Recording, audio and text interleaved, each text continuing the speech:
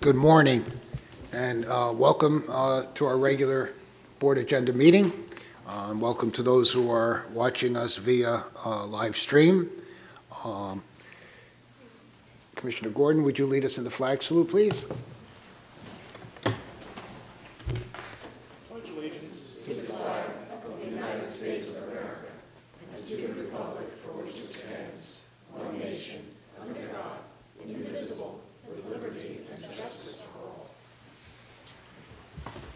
Thank you.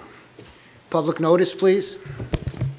Adequate public notice has been given pursuant to the Open Publics Meeting Act. Notice have been posted at the board's office and have been delivered to the Department of State and to newspapers of broad circulation within the state. Thank you. And now the roll call. Commissioner Holden? Here. Commissioner Solomon? Here. Commissioner Chivukula? Here. Commissioner Gordon? Here. President Fiordaliso? Here. And when is our next meeting? Our next regular board meeting is scheduled for Wednesday, February 5th, 2020, at 10 a.m., State House Annex Committee Room 11. Thank you. Um, We will be having an executive session today, and we're going to be uh, looking at uh, or discussing two items in executive session. Uh, We'll be uh, discussing uh, 8G and miscellaneous item A. I also want to make note of the fact that item 9B will be deferred to our next meeting. 9B. So if you're here for 9B,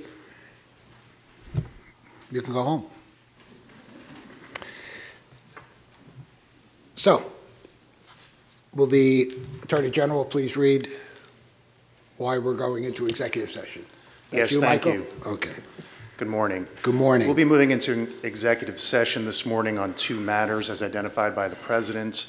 This is pursuant to the exception to the Open Public Meetings Act at New Jersey Statute 10:4-12B7 with regard to Agenda Item 8G, that is pending litigation in which the BPU is in fact a party, and it's also subject to attorney-client privilege. With regard to Agenda Item 9A, that is contract negotiation and confidentiality.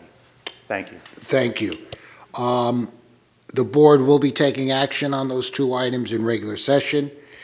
I would estimate that the executive session should last between 30 and 40 minutes.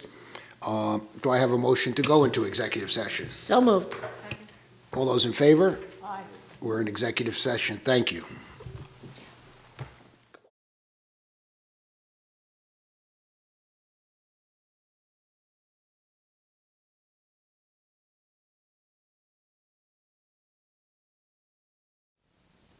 We got back here a little earlier, and uh, we're back in regular session.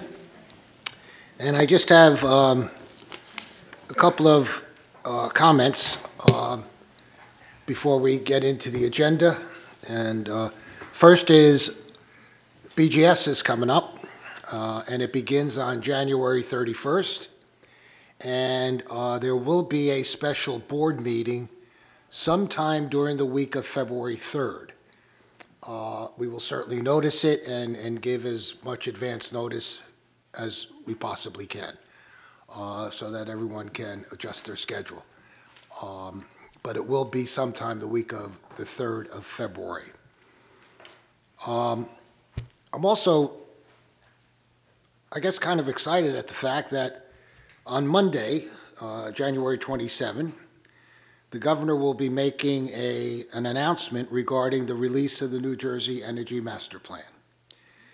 I think uh, we're proud to unveil, unveil uh, New Jersey's 2019 Energy Master Plan.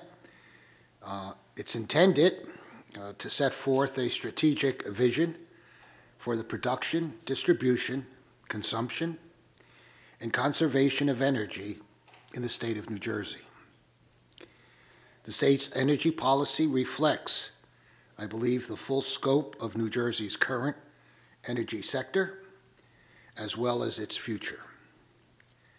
As the state expands its green economy, there will be new jobs, industries, and increased workforce development. providing, I believe, exciting new opportunities for New Jersey's residents and business community. I want to note that there was tremendous interagency cooperation uh, in creating the Energy Master Plan, and I want to thank our colleagues uh, of all the staff members, especially our friends and colleagues at the Department of Environmental Protection, for all of the hard work that was put into this. The next step, and there are other agencies and uh, departments that were also involved, and uh, it was really a um, almost a universal effort by the state uh, to produce this energy master plan. And I hope it uh, meets everyone's expectations. Um, the next step will be to implement uh, what the Energy Master Plan suggests, which will provide a pathway uh, to 100% clean energy by 2050. So we continue to move forward to make New Jersey greener.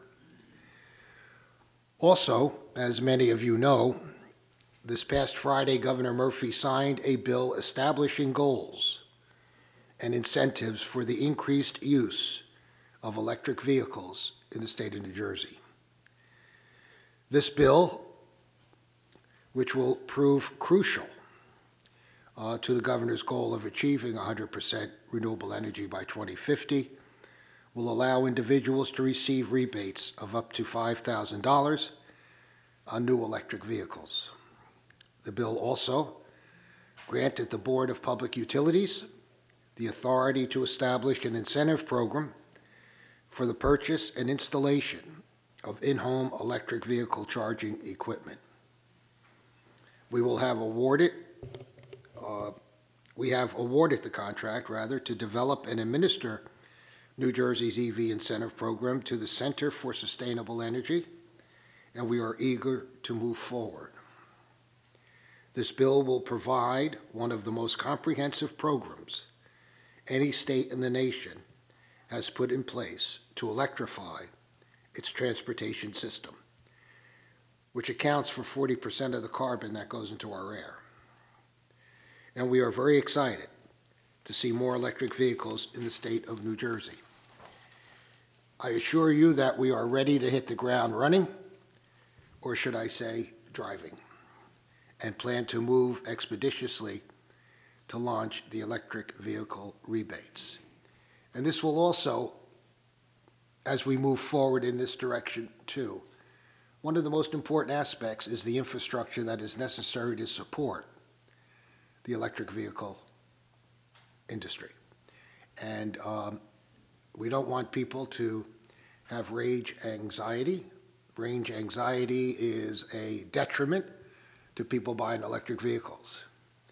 Already on the Turnpike and the Parkway, there are 76 public charging stations. We're going to ensure the fact as we move forward with this program that more and more charging stations become available, and uh, which hopefully will relieve that anxiety. So I think there are a lot of exciting things happening uh, here in the state of New Jersey as we continue to move forward to not only clean our air, but to mitigate the effects of climate change. And we're seeing more and more of our states in the United States joining the crusade to mitigate climate change. What we need is efforts by governments all over the world. And, uh, and that's what I'm sure is being worked on by a number of groups. So I want to thank everyone who was involved uh, in the implementation and, and, and getting that legislation through. It, uh, there were a lot of variations to it, but it's certainly something that uh, we, we applaud, or I applaud. And uh, I want to thank Chance Likens for his expertise in helping to get this through and, uh, and so on. So it's, it's really important for all of us, particularly our children. Do any other commissioners wish to make any statement? Yes, sir. Yes, I would uh, just like to add that uh, I was particularly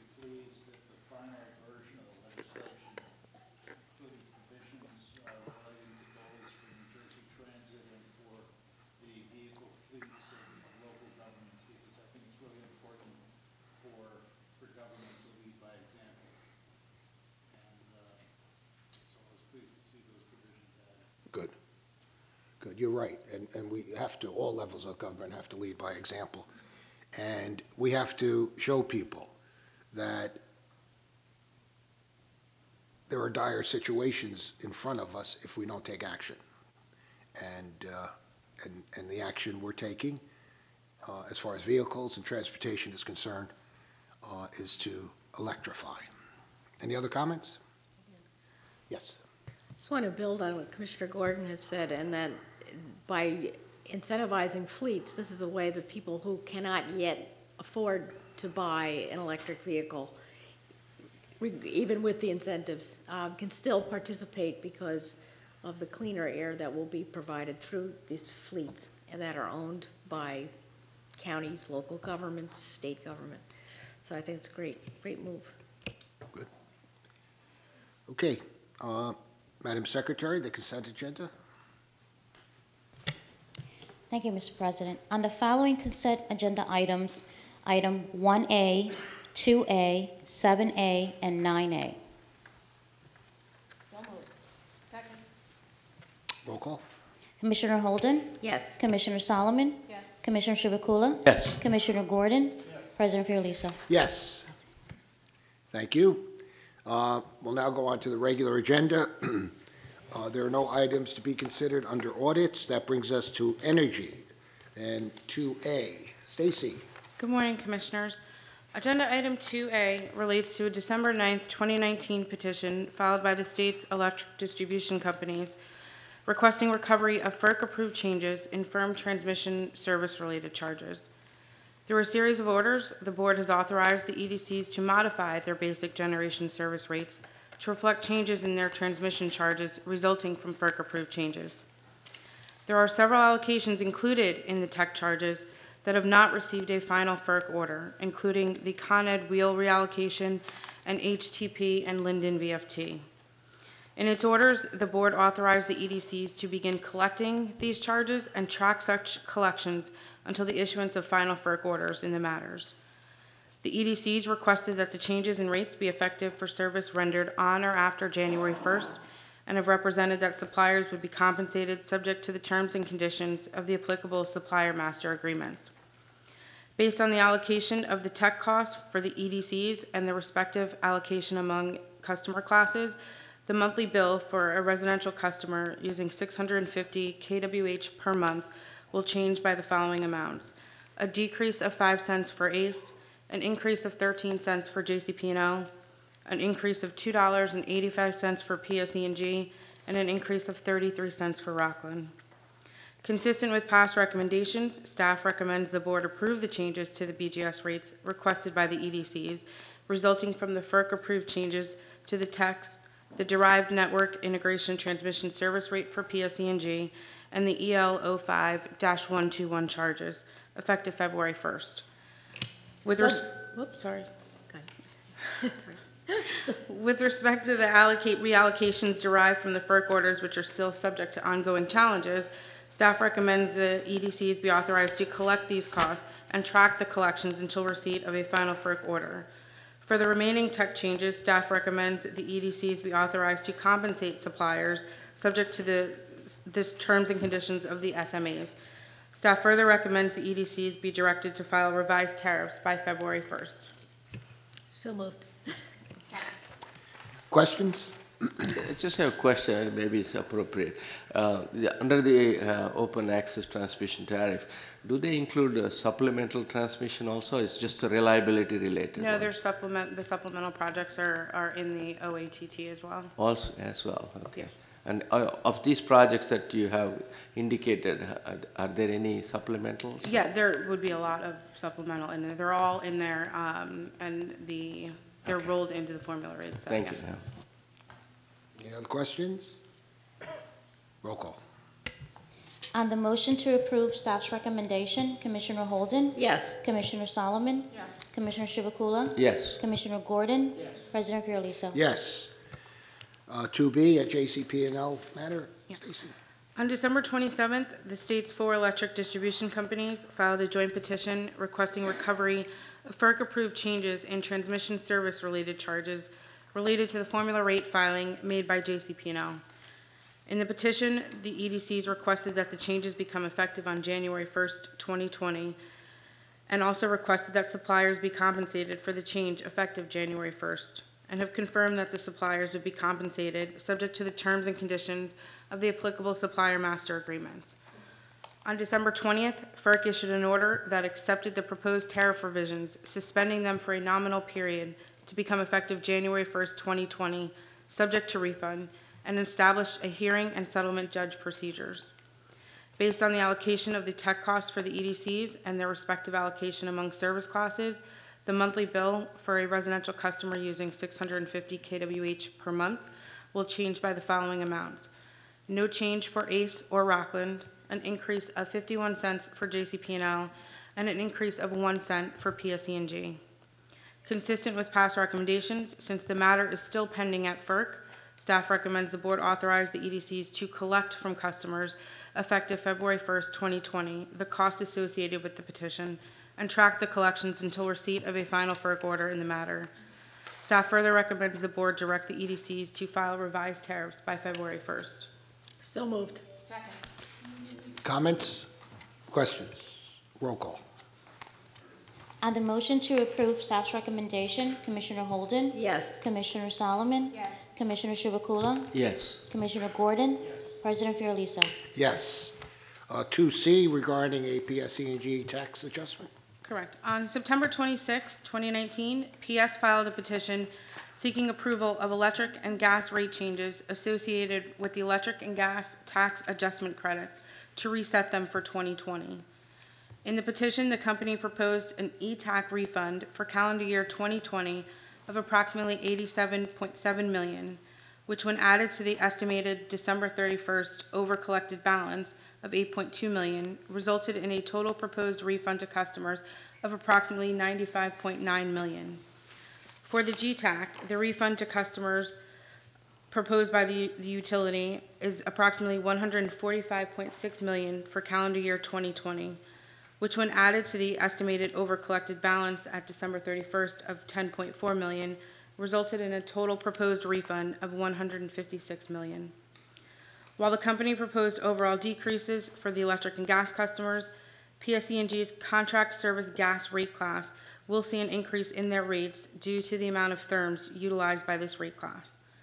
The parties have executed a stipulation requesting the board approve the changes in the tax on a provisional basis, subject to refund with interest, to allow the parties sufficient time to complete the review of the petition.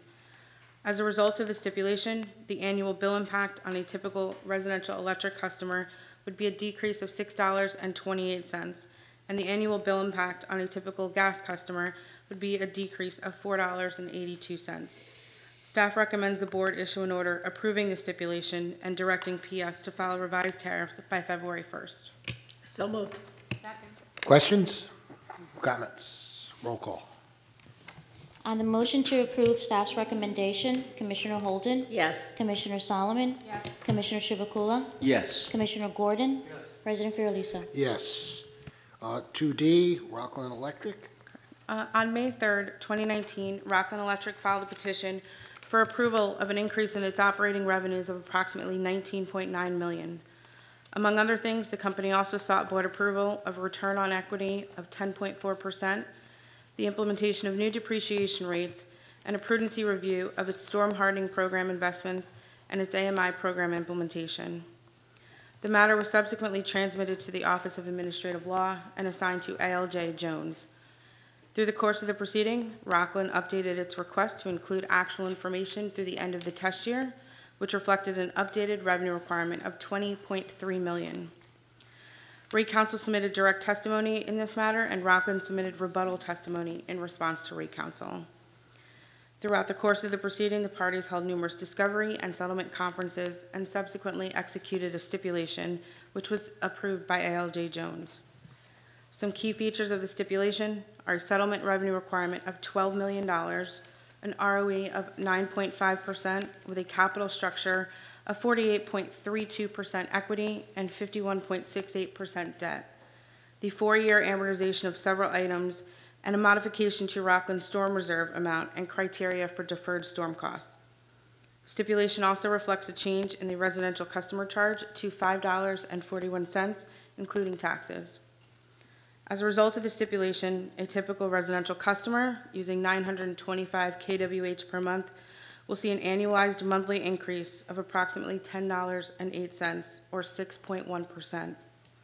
Staff recommends the board issue an order approving the initial decision and stipulation and directing Rockland to file revised tariffs by February 1st. So moved. Second. Questions? Comments? Roll call. On the motion to approve staff's recommendation, Commissioner Holden? Yes. Commissioner Solomon? Yes. Commissioner Chivukula? Yes. Commissioner Gordon? President Fiordaliso? Yes. Uh, 2E brings us into the world of FERC. That's like the Twilight Zone. Feels like that sometimes. Um, So indeed, uh, good morning, Commissioners. Item 2E um, Morning. is a matter that was filed at the Federal Energy Regulatory Commission, or FERC. Indeed, yesterday, staff filed a request for rehearing and clarification of the Commission's December 19th order, um, re-establishing a, or establishing a replacement rate for the PJM capacity uh, market. I personally want to thank the commissioners for trusting me and my staff um, to undertake this request for rehearing and clarification. Um, Personally, thank you for trusting me in that, and I would also like to recognize the contributions that were made from Abe, Joe, Emily, and Paul in the drafting and review of this filing, and also to recognize the significant contributions of the Assistant Attorney Generals, Jeremy and David, as well as our Deputy Attorney Generals, Paul and uh, Darren, in the drafting of this. And so if you're keeping track, that's eight attorneys on one filing. And we didn't kill each other, so, you know, maybe it is the Twilight Zone. At the government rate. Um, this filing is over 50 pages and nearly 300 footnotes. It was quite a uh, Herculean task to get it out, but um, we do feel very strongly that this well serves the board as well as the state of New Jersey. As a matter of background, this proceeding originated out of complaints filed by Calpine and a variety of other merchant generators in 2016. It was then ultimately consolidated with a tariff filing that was made by PJM in 2018. Um, all of those proposed replacement rates that were put forward by PJM and the Calpine complainants were rejected in an order dated June 29th of 2018. And in that order, FERC completed the first prong of its Section 206 requirement um, under the Federal Power Act. In that June 2018 order, FERC declared the existing capacity market structure to be unjust and unreasonable for failing to account for state subsidies in the market structure. Those state subsidies of interest to New Jersey are specifically our renewable portfolio standard, our offshore wind renewable energy credits or certificates, excuse me, and the zero emissions certificates for nuclear units um, as well as a variety of other programs, but those are the top three. Um, at that time, the board timely filed a request for rehearing, which was presented to this board and, and approved. And that rehearing remains outstanding. So 50% of FERC's action is still held up in limbo and pending uh, appellate review. This order that was issued a year and a half later, on December 19th of 2019, establishes the second prong of FERC's obligation, and it's the replacement rate. So once they identified that the existing rate was unjust and unreasonable, they have an affirmative obligation to put a new rate in place. And that's what this December 19th order purports to do. However, it's staff's position, and as stated in our request for rehearing and clarification, that FERC has really gone entirely too far. This is a jurisdictional overstep where FERC is supplanting its view of what the generation resource portfolio should be for that of the state of New Jersey. And therefore, we have made a variety of arguments regarding the fact that this is unlawful under the Federal Power Act, which reserves generation facility choices exclusively to the states. In addition, It is our view that this order fails under both the Federal Power Act and the Administrative Procedure Act because it is arbitrary, capricious, unjust, and unreasonable. And we put forward in the request for rehearing and clarification a variety of arguments to support um, that ultimate position. We also argue that this does um, kind of have implications for New- Jersey BPU's due process rights because, of course, this is only 50% of the equation. The other 50% is still tied up in the rehearing request that's been told for over a year.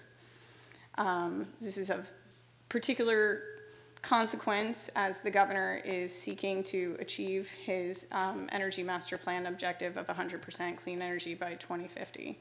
Therefore, staff has made these arguments and filed them yesterday at the Federal Energy Regulatory Commission, and we are asking that the board ratify them at this time. So moved. I don't think we can overstate the importance of uh, this submission to FERC. A submission that uh, hopefully will gain their attention. We also had a teleconference call with OPSI, the Organization of PJM States, and they have also submitted a request for a rehearing. Many other states within the PJM footprint are also submitting individual petitions, just as we are today. Potentially, this can harm, and if I'm saying anything incorrect, Cynthia, just jump in. Potentially, this can harm the initiatives that we have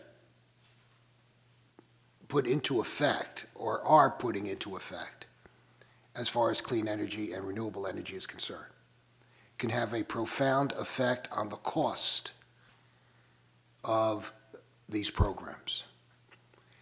We don't anticipate that initially it will have an effect, but as we go down the road two or three years, it can have a profound effect. So we are fighting, and I think that's the word, the Federal Energy Regulatory Commission for what we believe to be an infringement on state rights. We decide the generation in the state of New Jersey, not the FERC. And they have put their foot in something that, frankly, in my opinion, they have no business to do. So this, this could wind up going through the court system right up to the top, right up to the Supreme Court, because it is a state right issue, and they have overstepped their bounds. We've mentioned before, at previous meetings and so on, that for the most part, the FERC has been ineffective over the past few years. Don't have quorums, don't have a full contingent of commissioners on board, um, delays upon delays of getting rulings. It has not been an easy job dealing with them. We also had a meeting with PJM, who I think from that meeting is very supportive of the states within their footprint. And we were told that they would probably be submitting a petition for rehearing also. So there are a lot of players in the game here to try to push back that FERC ruling. We'll certainly keep you all up to date because it is vital and important to our programs here in the state of New Jersey. And we're not going to give up easily. Any other comments? Yes, sir. one of these will work. Uh, I just wanted to add my uh, thanks to uh, Cynthia and all of her colleagues, uh, the entire staff at BP that were involved in the drafting of this document at the, at the Department of Law and Public Safety as well. This is a, a major project and something incredibly state and uh, may well go to the Supreme Court. So to put a document like this together in such a compressed time frame, I know is, is a a major effort, and I want to thank you for your dedication. And, and one other thing to add to that, uh, Commissioner, so well written. So congratulations to everyone who put a pen to that, because it was one of the best things I've read, frankly. Any other comments? Oops. Okay, I got all excited there and the chair fell. I was, I want to add that it's absolutely superlative work, and it's worth every attorney that was involved, but I know your hand was heavily on top of this, and uh, certainly as a keeper, with all of the references, um, footnotes are just rich with information. Um, I, if I were the person on FERC, I'd say, we did what?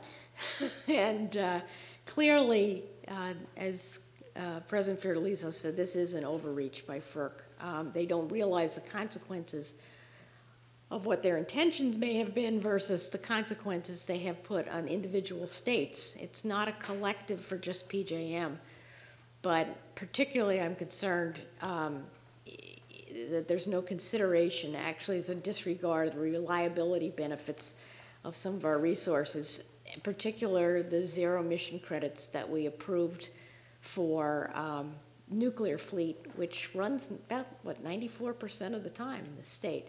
Um, that's a real concern to lose that kind of level of reliability.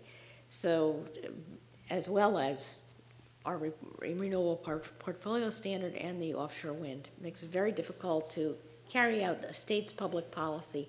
We're not saying we all have to do the same thing, but let the states have their rights.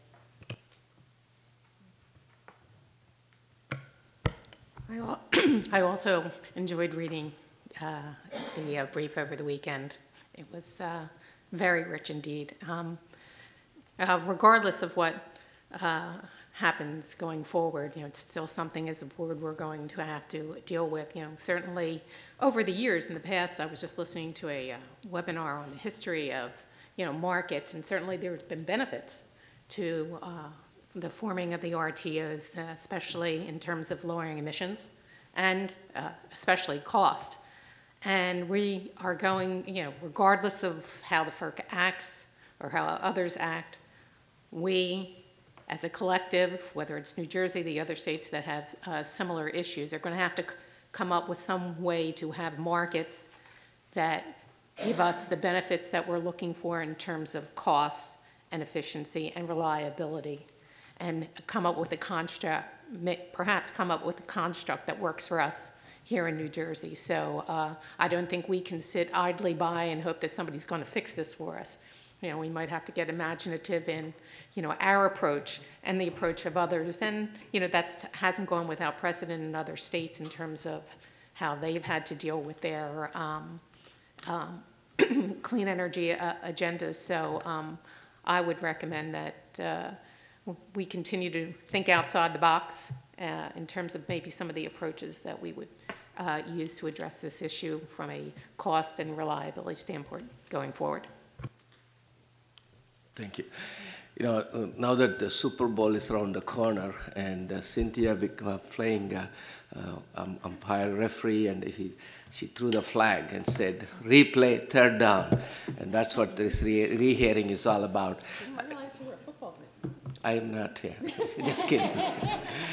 um, the interesting thing about uh, the federal government, you know, FERC, is that uh, they are lacking imagination and uh, they're not, instead of being a catalyst for change and innovation, and they would like to go back. Uh, that's very sad. You know, United States is built on innovation and technological advances where uh, uh, renewable energy is providing a, a forum for developing such technologies and um, also trampling on the states' rights in this case, uh, trying to rule out they won't, because they can do it and they are doing it, which is wrong. And they're ignoring the wildfires in California, uh, Australia, which is very sad that uh, more than 1 billion animals were killed. And uh, people are, you know, Australia, Australian government has not paid attention to the climate change issue, and uh, people, animals and uh, eco- ecology is suffering from that. So what we, uh, I want to congratulate you, Cynthia, and your all your colleagues who have come up with this. Uh, but I think uh, we have to stand up and uh, speak for the right thing, speak for the justice, and the federal government, FERC, single-handedly cannot take our rights away from us. Thank you. As John Paul Jones said, we have not yet begun to fight. Any other comments? Don't give up the ship either, right? Roll call. On the motion to approve staff's recommendation, Commissioner Holden, Yes. Commissioner Solomon, Yes. Commissioner Chivukula, Yes. Commissioner Gordon, President Fiordaliso. Yes. That brings us down to 2F, New Jersey Natural Gas. Ben?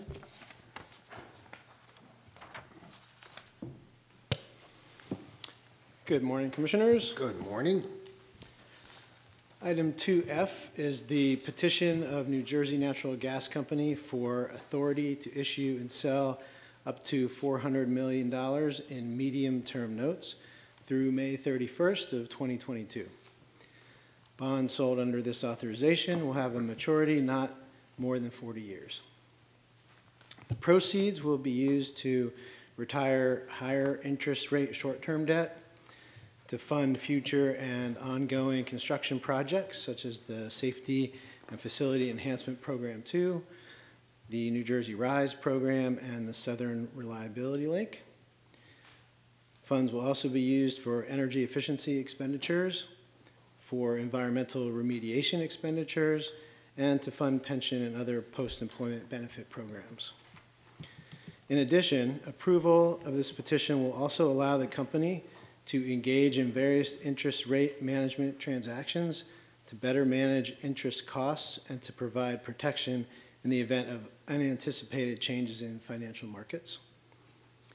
Also, as part of the petition, the company requests approval to expand its meter leaseback program. The sale and leaseback program involving meters is a financial tool that can lower borrowing costs for the company. The company indicates that it saves about 50 basis points through this program compared to the cost of capital obtained through traditional or conventional bond sales. New Jersey Natural Gas Company has a high investment grade credit rating, can raise capital on very attractive terms in the financial markets. Company's current credit standing is rated AA3 by Moody's. The Division of Rate Counsel has reviewed the petition and does not oppose approval. And the Office of the Economist does recommend approval of this petition. So moved. Second. Comments, questions? Yes, sir. Uh, uh, uh, Dr. Witherell, uh, the medium-term notes, meaning how many years? That's uh, seven years or 10 years, uh, medium term? Um, it's a, a bit of a catch-all phrase It can typically be used for uh, bonds anywhere from 10 to 40 years in maturity, Okay. 10, 20, 30, 40. I wonder why they chose medium term instead of long term. You know, do you have any? Uh, Again, it's just a, it's just a term of art, a phrase. Um, so it provides the flexibility that they can cover all those kind of maturity levels with that. Any other questions, comments? Roll call. On the motion to approve staff's recommendation, Commissioner Holden, Yes. Commissioner Solomon, Yes. Commissioner Chivukula, yes. Commissioner Gordon, President Fiordaliso. Yes, thank you, Ben. Uh, There are no items under cable television to consider, nor telecommunications, nor water. That brings us down to reliability and security. Jim?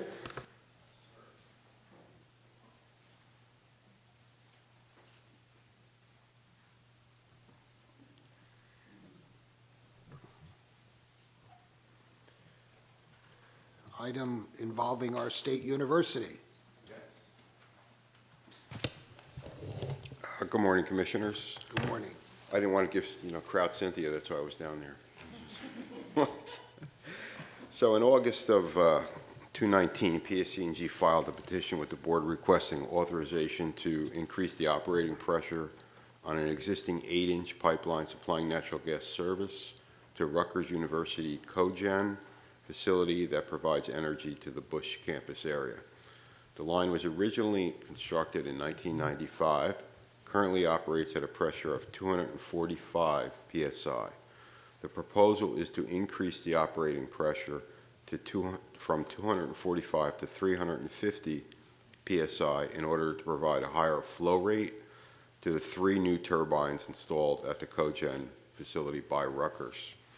Pipeline serves no other customers, extends 3.2 miles from PSE&G's M&R station on Stelton Road in South Plainfield to the Busch campus on Davidson Road in Piscataway. The pipeline was installed at a minimum depth of five feet, traverses both residential and commercial streets, passing a total of 69 structures, of which are within 100 feet, and 61 of those are residential structures. Board staff reviewed the petition, its supporting documents, including maintenance records, pressure test results, and the history of the line. We also performed a visual inspection of the route several times. The pipeline was designed for a maximum allowable operating pressure of 685 psi and was hy- hydrostatically pressure tested at over 1,000 psi, and those tests were successful. Under the current proposal, PS will perform another pressure test that we are directing with your order, if you approve, and a subsequent leak survey before increasing the pressure to 350 psi. They also treat this line, although it's not considered transmission, as a transmission structure. Therefore, it is managed by their transmission group and, and looked at with higher risk standards and procedures. On November 4th, we held a public hearing with uh, at the Rutgers Busch campus. Uh, All public uh, within 100 feet were, were given certified mail. Uh, It was advertised in the general circulation newspapers, and uh, several people attended the hearing.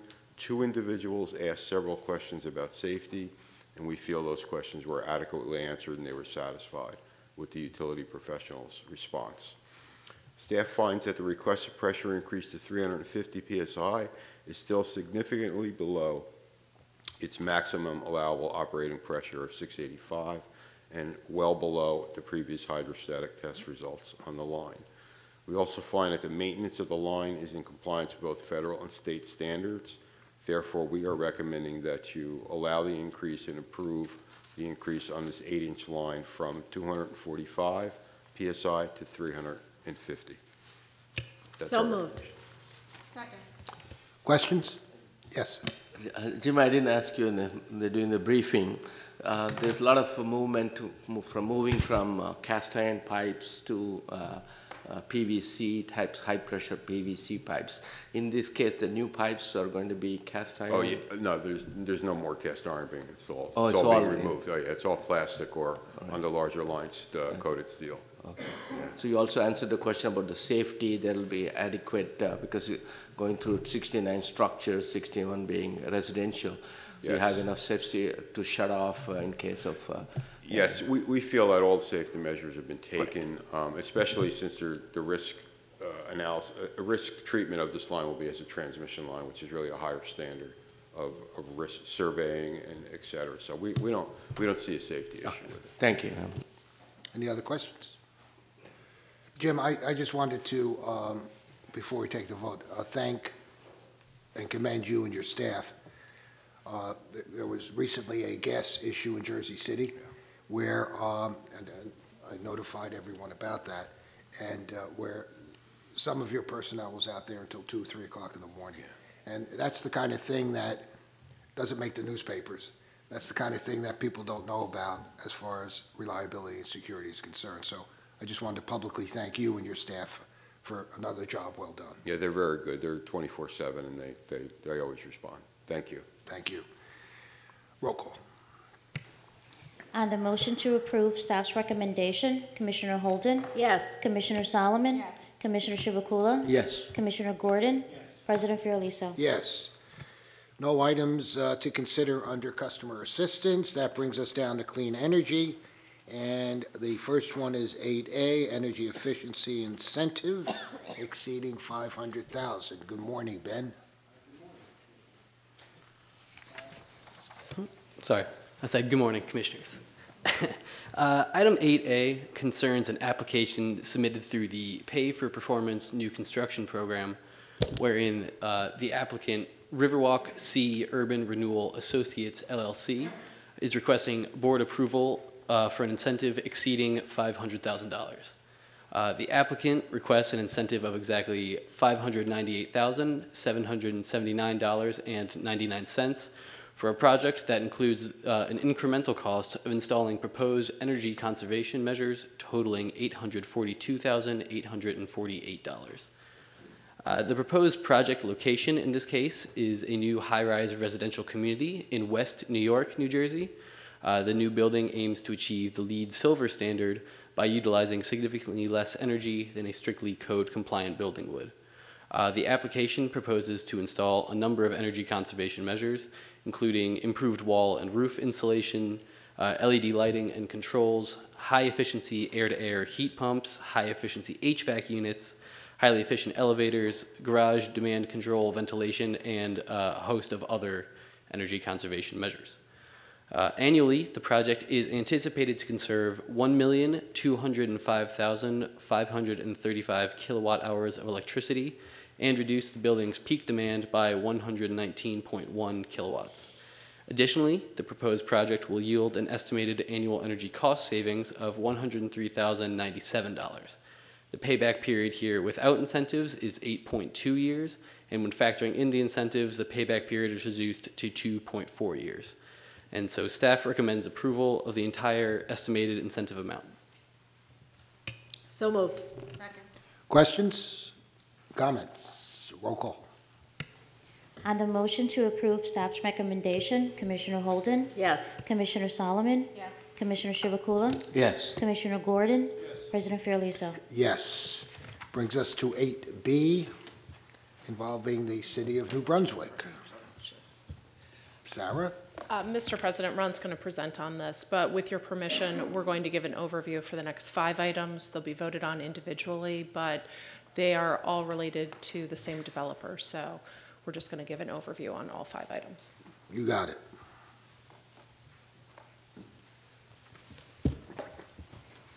Good morning, Commissioners. Good morning, Ron.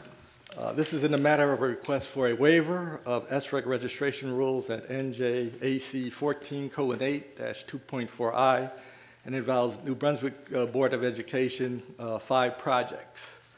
On November 26, 2019, GSPP Onyx New Brunswick LLC petitioned the board requesting a third extension of two and one half months to the construction completion deadline for its five New Brunswick Board of Ed SRP applications.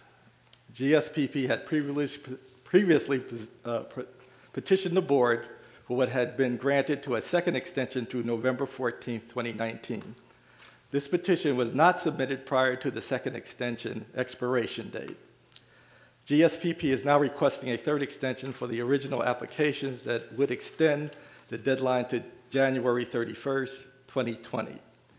Petitioner supports its request for a third extension with the claim that during the second extension period, it encountered delays from the town of New Brunswick electrical uh, permitting process which were out of its control. However, on December 6, 2019, GSPP filed five new SRP registration applications for the then expired projects. The SRP team issued acceptance letters for the newly filed applications on December 17, 2019. GSPP is now asking the original five applications be reactivated so they can receive the associated 15-year qualification life for SRECs.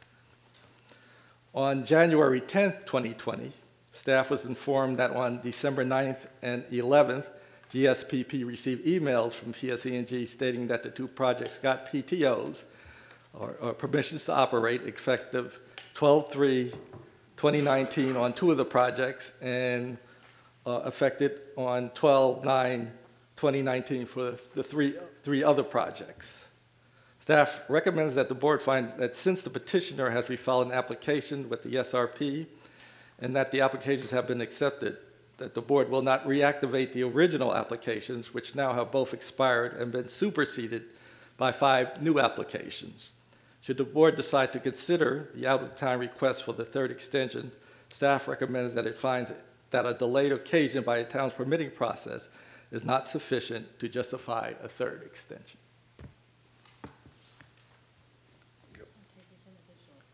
We are. Uh, As uh, Sarah mentioned, we're going to take these individually. So let's start with 8B.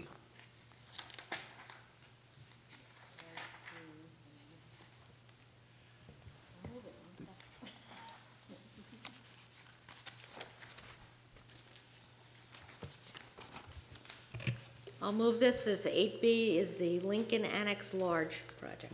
Yes. Second. Questions, comments, roll call. On the motion to approve staff's recommendation, Commissioner Holden? Yes. Commissioner Solomon? Yes. Commissioner Chivukula? Commissioner Gordon? Yes. President Fiordaliso? Yes, that brings us to 8C, also the Lincoln Annex, but the small. Yes. So moved. Second. Comments, questions, roll call.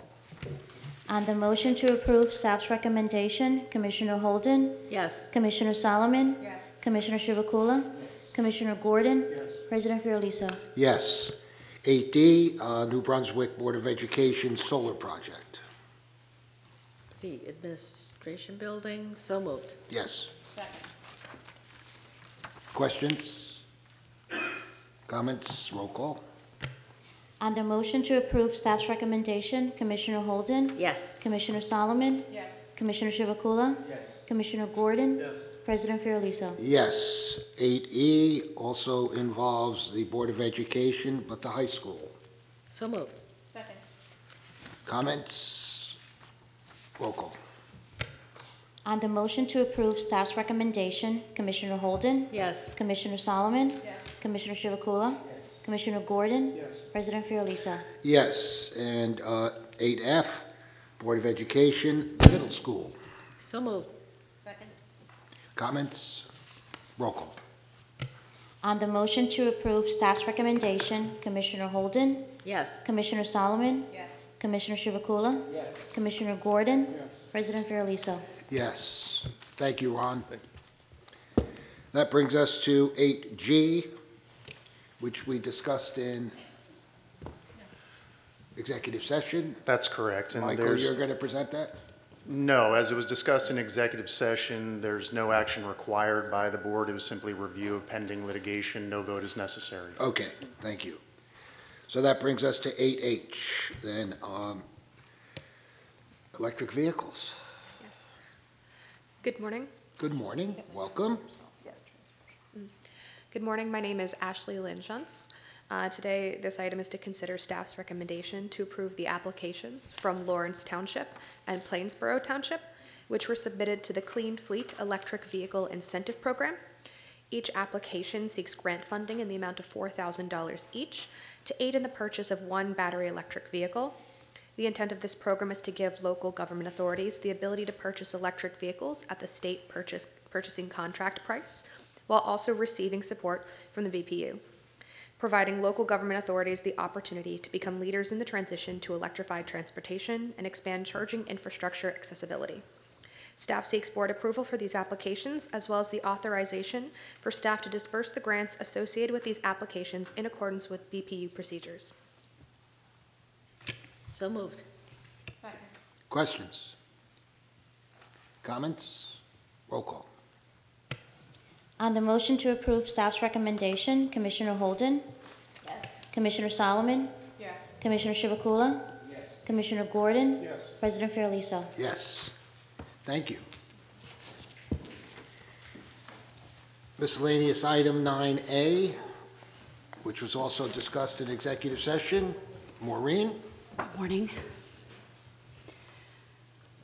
At its August 7, 2019 agenda meeting and docket number EO19030308, the board directed staff to initiate a comprehensive study of the board's energy assistance programs. Therefore, today, board staff requests authorization to release a request for response, or RFR, to solicit bids for conducting a study and evaluation of the following four programs the Universal Service Fund, the Fresh Start Program, the Payment Assistance for Gas and Electric Program, and the Temporary Relief for Utility Expenses Program.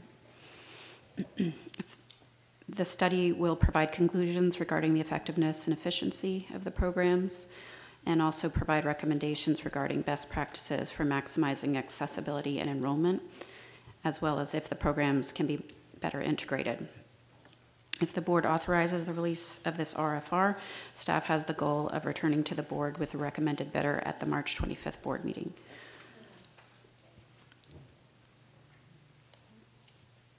Therefore, uh, staff recommends the board authorize staff to release this request for response. So moved. Second. Questions? Comments? Roll call. On the motion to approve staff's recommendation pursuant to the discussion in executive session, Commissioner Holden? Yes. Commissioner Solomon? Yes. Commissioner Chivukula? Yes. Commissioner Gordon? Yes. President Fiordaliso? Yes, thank you, Maureen. Um, As I indicated at the beginning of the meeting, miscellaneous item 9B uh, will be taken up at our February meeting on February 5th. And um, if there are no other items, may I have a motion to adjourn? So moved. All those in favor? We're adjourned.